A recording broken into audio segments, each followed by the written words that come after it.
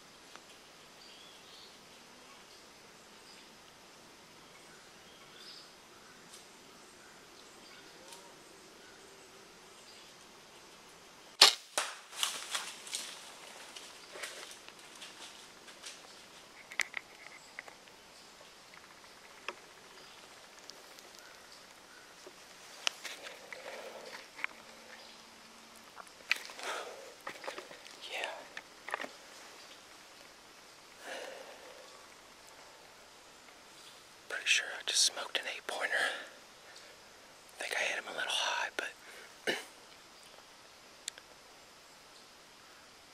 heard him run over the hill, and I don't. I didn't see him run any farther than that. I watched that deer for forever. I know the camera looks like I had a perfect shot the whole time. But I forgot to cut one limb. So I did not have a shot. But I think we just smoked him. Stay tuned. I'm gonna go check the arrow here in a second. Hopefully we got us a buck on the ground. Alright boys, it's uh we're here in Kentucky, it's Sunday morning. It was our last morning to hunt. And uh, I killed the doe last night. My buddy killed a nice big eight. So I went out for the last time. I had this one and another one come in, and he fed around for about 20 minutes. Finally got a shot on him, smoked him. Didn't run but 30, 40 yards. Um, but you never know. You got to stick it out in the woods. It's been it's been hot all, all week, and uh, just got to sit in the stand. and Hopefully something comes by. So we got to get these things skinned and in the coolers. It's going to start getting warm. So stick with us here at the Final Roost.